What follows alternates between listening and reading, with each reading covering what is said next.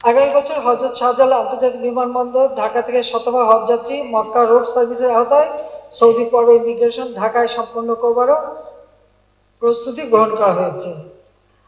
তেরো নভেম্বর দু তারিখে রাজকীয় সৌদি সরকারের সঙ্গে আমরা মক্কা রোড সার্ভিস চুক্তি সম্পাদন করেছি। বৈদেশিক নীতির ক্ষেত্রে এটি আমাদের সরকারের একটি অনন্য উল্লেখযোগ্য অর্জন বলে মনে করি। দু হাজার বাইশ সালে প্রতিটি বিমান ফ্লাইটকে ডেডিকেটেড ঘোষণা করি, ফলে প্রতিটি ফ্লাইট শুধু হজ যাত্রী বহন করেছে। এয়ারলাইন্সের সংখ্যাও বৃদ্ধি করা হয়েছে।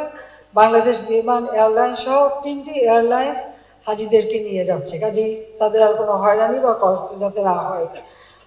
হজ ওমরা ব্যবস্থাপনা আইন দু হাজার একুশ এবং হজ ওমরা ব্যবস্থাপনা বিধিমালা দু হাজার বাইশ আমরা প্রণয়ন করে দিয়েছি।